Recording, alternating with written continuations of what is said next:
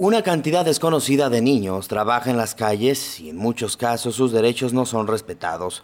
Por ello, asociaciones como el colectivo Pro Derechos de la Niñez Codeni vigila de cerca el caso en el que los pequeños deben salir a buscar oportunidades para aportar en la economía familiar. Pues es importante principalmente porque tenemos que estar seguros de que estén sus derechos mm, asegurados pero también porque es importante también que no se les criminalice ¿no? y que no se les victimice también. Es a lo que iba, porque mientras unos sectores lo condenan, es más, la misma ley tiene sus consideraciones especiales respecto a que no pueden trabajar los niños, en la realidad se aprecia otra cosa. Sí, claro, incluso platicando nosotros muchas veces con ellos, a ellos no se les hace mal trabajar, ¿no? Este, ellos sí prefieren tratarse de que es un trabajo que es digno, ¿no? Que es digno, que no excede de ocho horas, incluso que muchas veces no excede de cuatro horas diarias, eh, que es muchas veces para ellos dar un soporte, un apoyo en sus casas, ¿no? Porque muchas veces la economía en sus casas no es la adecuada.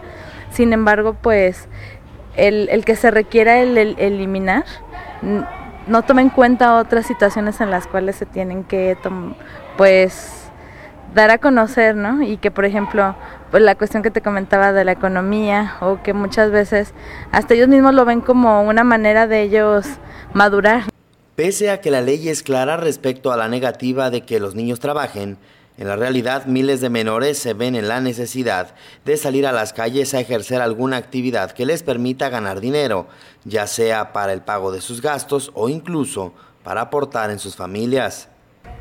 No tenemos una cifra exacta precisamente porque muchos de ellos migran también.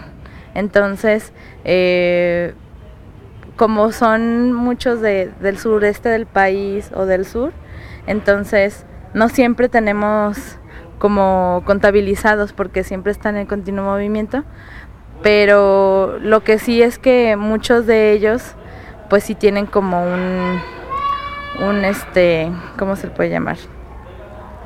Pues son, son personas que no están como fijas en un solo lugar, ¿no? Solamente son pocas las que sí permanecen mucho tiempo aquí en la zona metropolitana. CODENI es una organización que se dedica a vigilar el respeto a los derechos de los niños en situación de calle, es decir, que trabajan y conviven en las calles para acompañar a sus padres. Por ello brindan, entre otros servicios, de educación a los pequeños.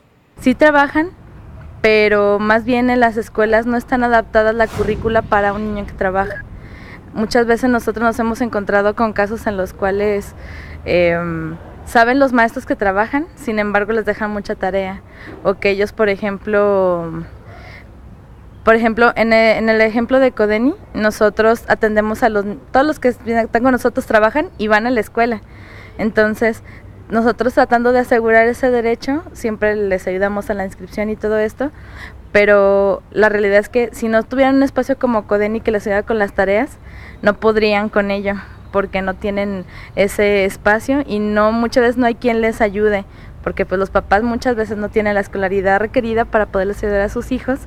Esta organización funciona con donativos y usted puede ayudar a que siga otorgando el beneficio a los pequeños, ingresando al portal de internet www.codeni.org.mx o llamando al 38 274 274 y no solo se trata de dar recursos económicos, sino también en especie o con tiempo para quienes desean ser voluntarios y trabajar en la defensa de los derechos de este vulnerable sector. Con imágenes de Noé Rosales en su derecho, Rafael Hernández.